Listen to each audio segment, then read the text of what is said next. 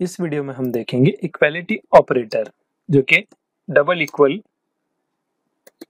Symbol के ज़रिए define होता है। ठीक है? इक्वालिटी ऑपरेटर का काम क्या है कि अगर मैं यहाँ पे एक वेरिएबल क्रिएट करता हूँ टी नाम से, ठीक है? और इसमें मैं टेन की वैल्यू रखता हूँ। फिर एक वेरिएबल मैंने क्रिएट किया ई e नाम से, और उसके अंदर भी टेन की वैल्यू रखा। अब क्या करेंगे? हम एक इफ़ की कंडीशन लिखेंगे। T equal to. अगर टी इक्वल के बाद इक्वल है e के, यानी कि टी की वैल्यू और e की वैल्यू सेम है तो हम क्या कर रहे हैं? एक मैसेज को प्रिंट करा रहे हैं। ठीक है?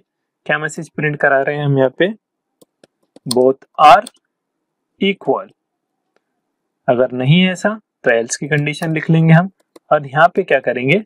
एक कंसोल में मैसेज प्रिंट करा देंगे कि नहीं भाई, दोनों अलग है।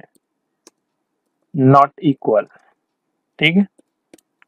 तो यहाँ पे मैं आके इसे सेव करता हूँ फ़ाइल में जाके सेव और ब्राउज़र पे जाने के बाद रिफ्रेश करता हूँ। तो देखिए बोथ आर इक्वल इक्वल क्यों है?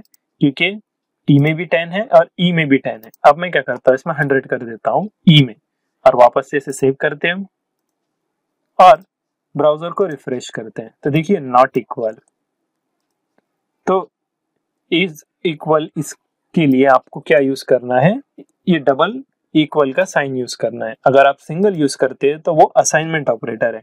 और डबल इक्वल अगर आप यूज़ करते तो उसे कहते हैं इक्विवेलेंट ऑपरेटर